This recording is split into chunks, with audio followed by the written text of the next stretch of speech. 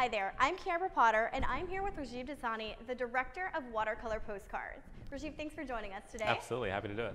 Well, I am very excited to see Watercolor Postcards.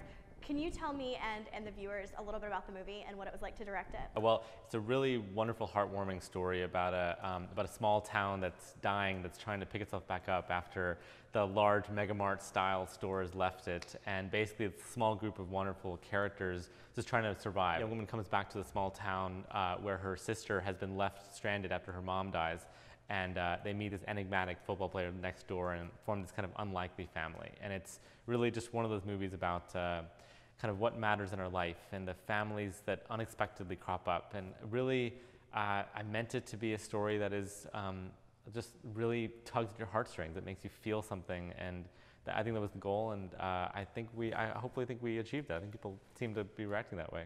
Um, that's great. Well, I've seen the trailer and I think it looks phenomenal. I am very excited to see it in the upcoming festivals. Which festivals are you, do you guys currently have lined up? Uh, well, upcoming we'll be screening at the Kansas Film Festival, uh, we'll be screening at the San Diego Film Festival, and we'll be screening at the Breckenridge Film Festival in Colorado. Um, many more to come after that, but these are the ones sort of just on the, uh, around the bend and uh, we're very excited. So. so. you had an amazing cast on watercolor postcards. We've got Bailee Madison, Laura Bell Bundy, Conrad Goode. What was it like to work with this phenomenal crew, with this phenomenal cast, rather? Uh, it was absolutely amazing working with this cast. You know, when, when I first got the script and talked to Conrad Goode, the, uh, the producer and writer of the project, um, who also was one of the stars as well, uh, I, I told him up front, I told him this movie requires a, a, caliber of cast to really pull it off. You know, these are very rich characters and they can't just be slapped off. They really have to be dug into. And uh, this cast was, they were just amazing. I mean, I, I really did not believe the caliber of talent that we were able to, to achieve. Um, Bailee Madison is probably the most talented young child actress I've ever worked with. She just, she just nailed it. She knew what she was doing. She knew who her character was. She brought depth and passion to every take, no matter how many hours we had worked.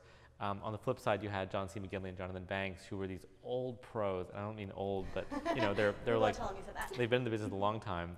And really, I just, with them, you had to do so little. They just, they brought it to the table and they just, they, they knew how to be compelling. And it was a masterclass in, in acting and directing, watching them work. Um, and the rest of the cast, we just had so many great quality character actors, Rhett Giles, Conrad Goode, um, uh, um, Claudia Christian, just these, and really people that I grew up, you know, I was a kid, you know, I was a kid growing up watching Babylon 5, watching Claudia Christian, and suddenly you know, here she is on my set. I'm telling her where she should be. You know, Jonathan Banks, I love Breaking Bad. Suddenly there he is on the set. You know, these, these are just, these are my heroes.